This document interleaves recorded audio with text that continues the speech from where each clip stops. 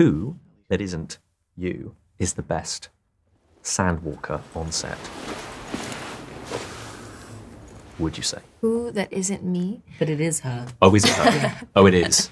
Oh, it very much is. Fact. Because I would want to have a go on set, even Go on. though Go on then. You've been practicing. That was good. a little bit. Nice That little was pointy so- foot as well. So much. It was so delicate. it was very delicate. Sorry, I'm blushing. One of my favorite uh, Denis words is just, or Denis phrases is just sci-fi shit. Sci-fi shit. And then we You did some sci-fi shit. So he's You're just right. like, it's going to be sci-fi shit, you know. And he's like, because it was like, uh, there's an ornithopter, oh, I love this. I love this. and you know, it's not, it doesn't work. You know, I hate to, you know, burst the burst the bubble, but it, it's not practical.